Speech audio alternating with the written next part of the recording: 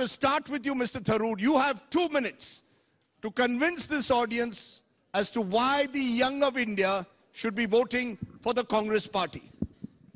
Well, first of all, because the government in office does not deserve a second term. It has sadly broken every one of its promises.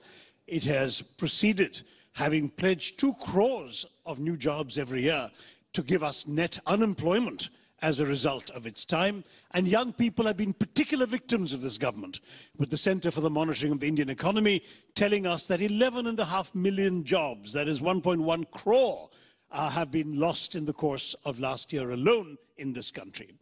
In addition, the Congress Party is a party that comes to you not pretending to know all the answers, but determined to work with you to find the solutions, with capable, experienced people who can think about the future, your future. We believe in the demographic dividend. We believe we can fulfill that dividend if we skill, train, educate, and equip you to meet the challenges and opportunities of the future. Sadly, this government's skill development program has been a complete flop. Most of its efforts have consisted of the fabled jumlas and not enough concrete action and results on the ground. The kind of setback to the economy we saw with demonetization, the cow vigilantism and the spreading of division and hatred in our society between different communities, these will all be things of the past in the Congress party comes to power. So I urge you all to think in terms of the future, to put behind your backs the mistakes of the last few years. Mistakes have been made, there's no reason for us to repeat them.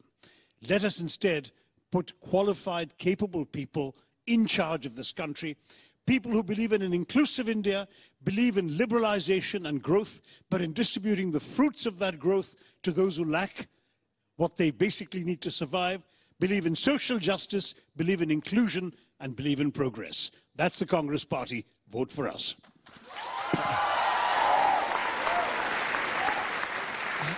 Hardip